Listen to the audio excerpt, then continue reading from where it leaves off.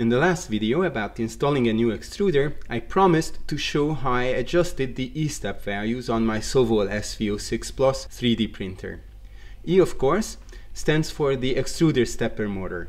The E-step value is the number of steps the newly installed stepper motor needs to take to extrude 1 millimeter of filament. It is important to get this right to avoid under or over extrusion. With the right hardware and software tools, however, it's pretty easy to measure and set the correct E-step value. It helps to use an E-step calculator. You can simply search for one on Google. In this video, I'll be using a simple calculator from Printer Mods. We just need to enter two numbers, current E-step value and the actual length that is extruded. So we need to check the current value under the steps section in advanced settings on the printer. I took note of the current value which I originally obtained for my other extruder and also entered this value into the online E-step calculator. For the next step, I actually designed and printed my own extrusion ruler. By the generally recommended procedure, we need to extrude 100 millimeters of filament and measure how much was actually extruded.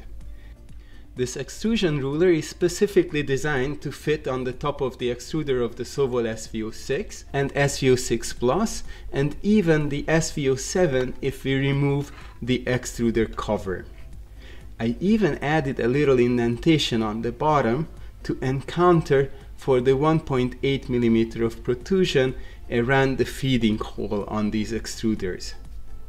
The ruler needs only 10 grams of filament and I was able to print it in 15 minutes using the upgraded 0.6mm nozzle on my printer. Included with the STL file for the ruler, you will find a PDF file as well with the scale, which can be printed on a regular or sticker paper and stick it so the zero point is aligned with the mark on the ruler. If you don't have paper printer, you can use a regular ruler to copy the millimeter marks on a sticker paper. Look in the description of this video for the link to the STL model of my extrusion ruler and the PDF scale. And while you're there, please remember to like this video and subscribe for more content like this in the future. The ruler makes things very easy. We need a light color filament, ideally white, and simply feed it through the extrusion ruler.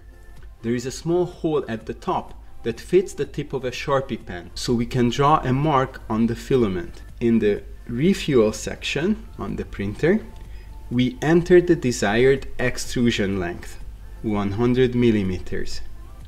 The nozzle will heat up to 200 degrees before we can press the feed button we can see how the little dot moves down on the extrusion ruler and we can simply read where it stops. In my case you can see the middle of the dot stopped at the 106 millimeter mark on the scale. This would cause a slight over extrusion if not corrected. Entering 106 in the calculator gives us the new E-step value which I can easily punch into the printer's advanced settings and I didn't even forget to also press store.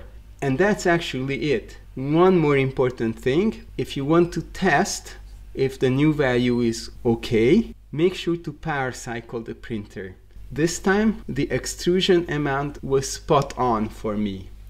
The new extruder is now perfectly tuned for our next adventures with the Sovol SV06 Plus what these are going to be, don't forget to subscribe to find out.